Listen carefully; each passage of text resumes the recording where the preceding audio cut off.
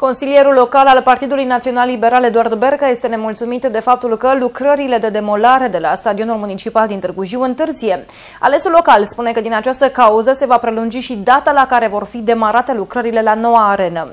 Berca a declarat că autoritățile locale riscă foarte mult, mai ales că a fost semnat și contractul cu Compania Națională de Investiții. Demolarea stadionului municipal din Târgu Jiu naște din nou discuții între politicienii locali. De această dată a venit rândul consilierului PNL Eduard Berca să atragă atenția asupra faptului că lucrările de demolare au întârziat. Acolo, dacă și-ar și dori uh, administrația locală, primăria Târgu Jiu, ar trebui să uh, se concentreze, să concentreze un, uh, o echipă da, în vederea rezolvării practic a tuturor problemelor care au apărut, care apar. Deci, din punctul meu de vedere, lucrurile ar trebui grăbite.